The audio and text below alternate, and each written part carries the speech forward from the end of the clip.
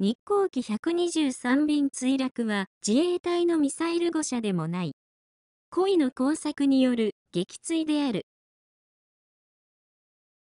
日航機123便墜落が事件か事故かという議論があるが、投稿者は確信を持ってその時々の政権にいた日本の新中国共産党勢力と外国勢力とのテロだと主張する。その根拠は、1984年3月18日から始まり以降劇場型犯罪として本格化したグリコ森永事件は1985年8月12日犯人から一方的に収束宣言が送りつけられた。同日の1985年8月12日、日本航空123便が、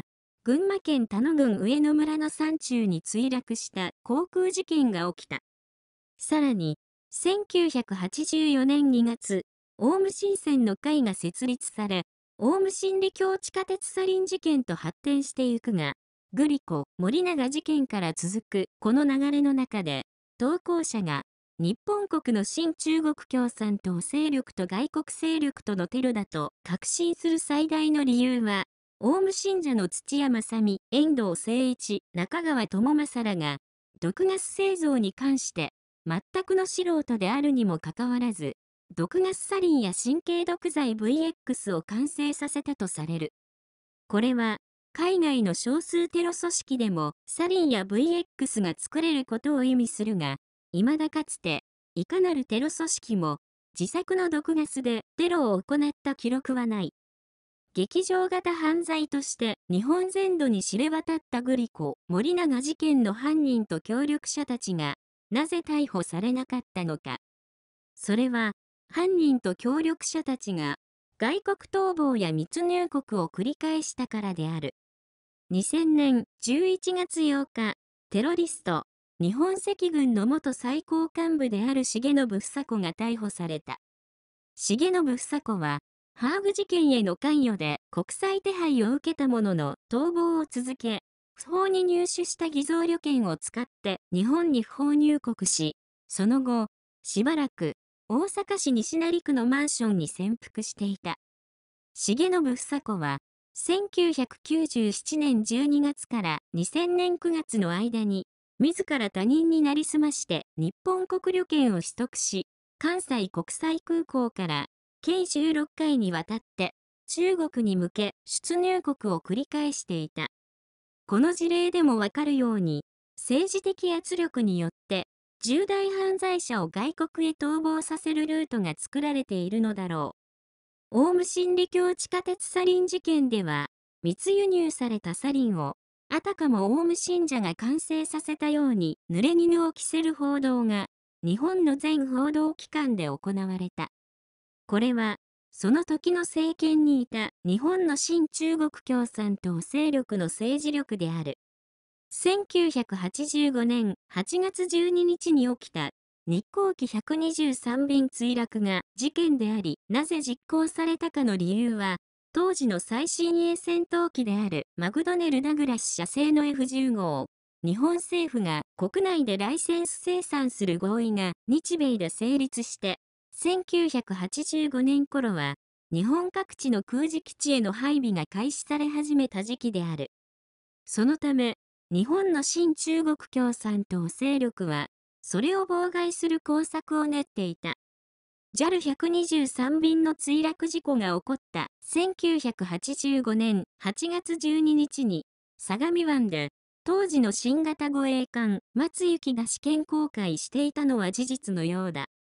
松行は最新の高度ミサイル防空システムを備えたシステム艦だが、ただの試験公開であり、この場所で、この時期にミサイル発射実験を行うとは考えられない。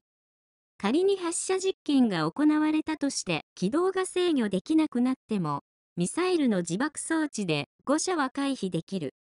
日本の新中国共産党勢力は、この機会を利用して、追尾型ミサイルを調達し、JAL123 便を目標にして、撃墜を目的として発射した。それを、あたかも、自衛隊のミサイル実験による誤射のように見せかけた。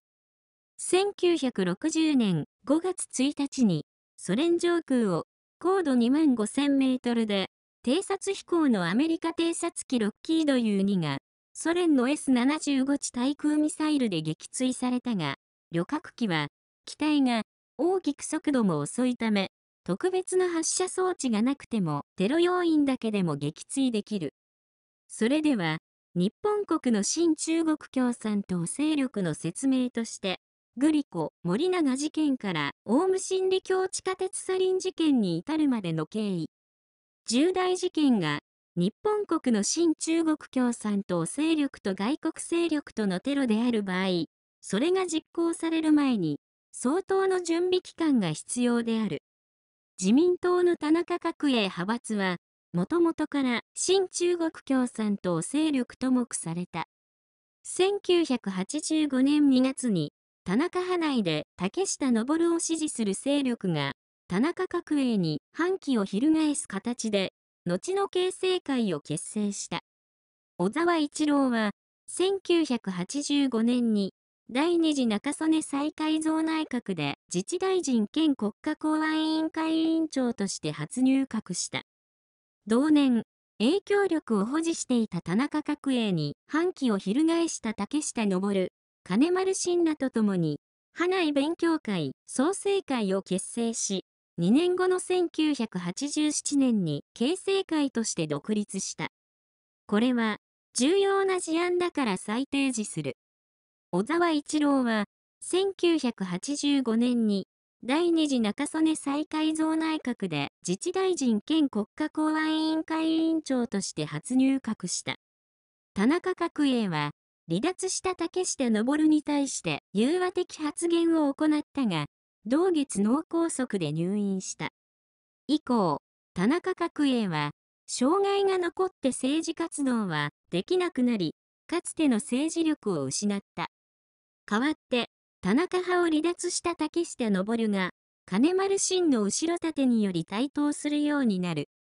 1987年10月の党総裁選挙では、ニューリーダーと呼ばれた安倍晋太郎、竹下登、宮沢喜一のいわゆる安武宮3人が立候補したものの、かつてのような激しい構想を嫌った3人は、話し合いをした結果、候補者一本化を総理の中曽根に委ねた。結果として、竹下登を総裁にするという中曽根裁定が下った。こうして、中曽根内閣は、日本電信電話公社や日本専売公社の民営化、国鉄分割民営化、1987年度予算で、防衛費1%枠撤廃するなどの政策を実現して、4年11ヶ月の長期政権を終えた。その後の12年間に、竹下登、宇野宗介、海部俊樹、宮沢喜一、細川守輝、畑努と変転した。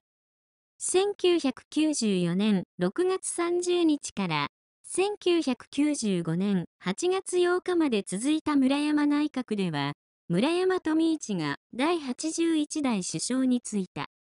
この時の自治大臣兼国家公安委員会委員長は野中博夢である。地下鉄サリン事件は、1995年3月20日に東京都で発生した同時多発テロ事件である。日本国の新中国共産党勢力とみなされる政治家たち。竹下登、金丸信、小沢一郎、畑努、後藤田正治、野中博夢、青木幹夫、橋本良太郎、亀井静香、二階俊博、小池百合子。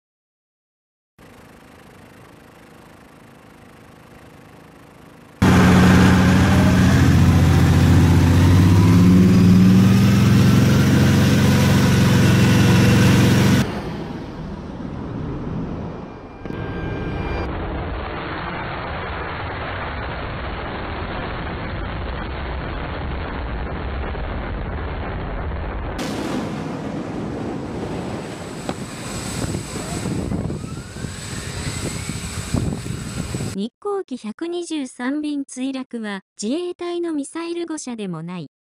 故意の工作による撃墜である。